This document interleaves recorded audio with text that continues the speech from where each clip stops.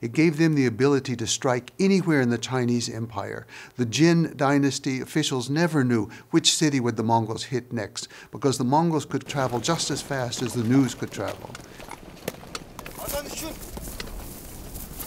The Mongol diet proved very advantageous for them in their battle against the Jin.